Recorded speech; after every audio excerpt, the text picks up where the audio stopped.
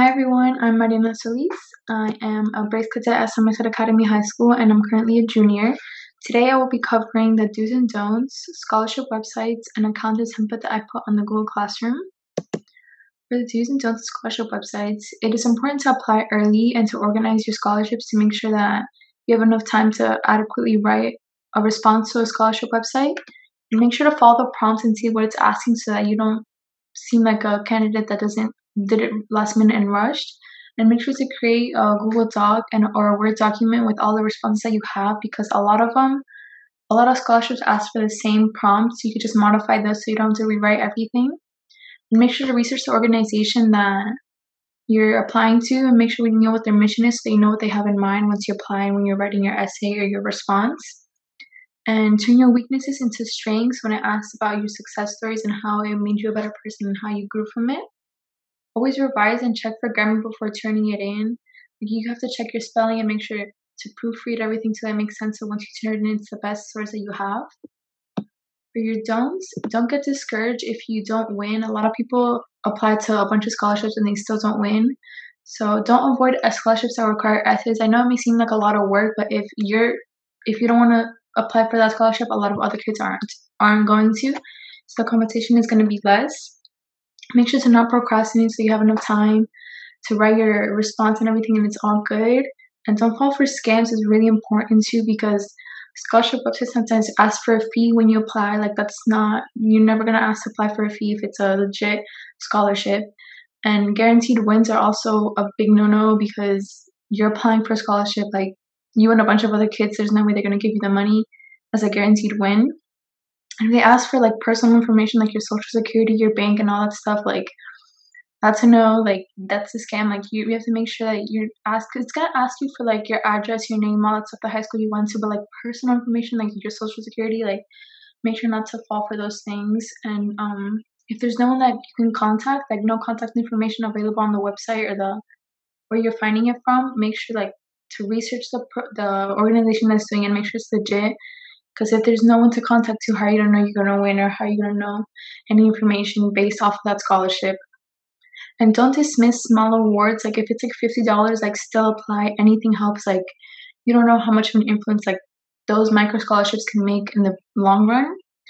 And don't leave letters of recommendation for the last moment because a lot of teachers take a while for them to write a letter of recommendation. So make sure you ask them with like at least like a month's notice or three weeks, so that they have enough time to write you a letter of recommendation that's good. Make sure that, let's say like a letter a scholarship is due on like the 14th. Make sure you ask for a letter of, rec- of recommendation like around like the 10th, so you have time to organize your portfolio and everything that you have to submit.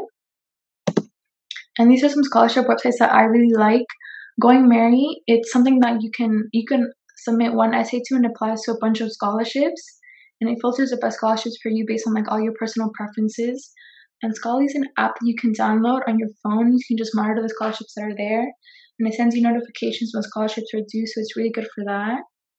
And RaiseMe is micro scholarships. So they ask they don't ask for any essays, like it's small responses and to and you have to make sure to check the the school that you're interest, interested in so that can be associated with your RaiseMe account that you make.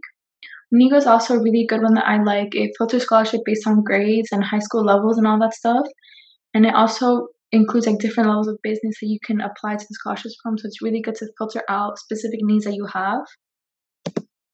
Niche is also a really good one because it generates a profile for you based on the scholarships that you want to apply to. And it's also good, it's not just for scholarships, it's good for college searches too and it can filter your scholarships like i said in different categories that you like like sports religion all that stuff like based on like what you put in your in your account scholarship owl it shows which scholarships you have completed and which ones that like are still in the process. And it also shows the credibility percentage to make sure that you're actually applying to like a good scholarship. So it's not a scam like i said like ask for personal information and all that stuff.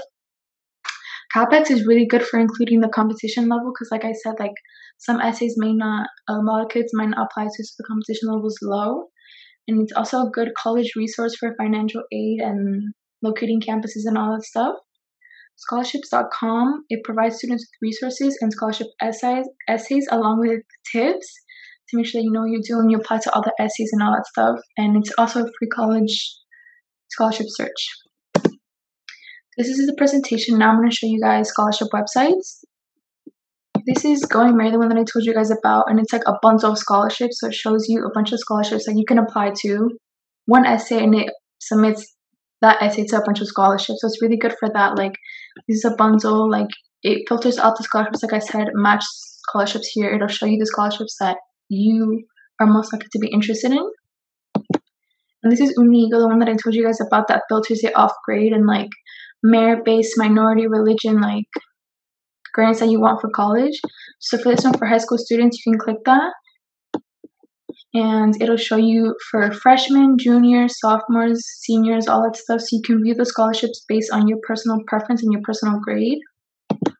Cappex is good for showing the competition level, like I said, like two out of five, and the amount of effort you need to apply. Like if it's a really big scholarship, like this one it's minor effort, two out of five. This one's five out of five, but the competition level is low, so that means a lot of kids aren't applying to it. It shows a deadline for all of these scholarships, and it provides the money as well that you can have. And niche, like I told you guys, it filters out scholarships. Like let's say like for states and um, majors and all that stuff. Like let's say for here, I'm gonna click Florida. I save it, and it filters out the essays that are available in Florida.